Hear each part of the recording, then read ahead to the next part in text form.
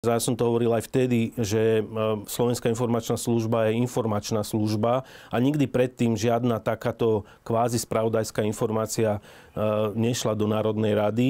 Ale ak tam boli informácie, ktoré boli relevantné pre orgány činné v trestnom konaní, No vtedy oni tvrdili, že sú a my dnes už vieme po tých x rok, pár rokoch, že ani jedna z tých vecí, ktoré tam boli, tam bolo spomínané, že sú tam nejaké dôkazy, nejaké informačné technické prostriedky zachytené a tak ďalej, ani jedna z tých vecí sa na súde nepreukázala.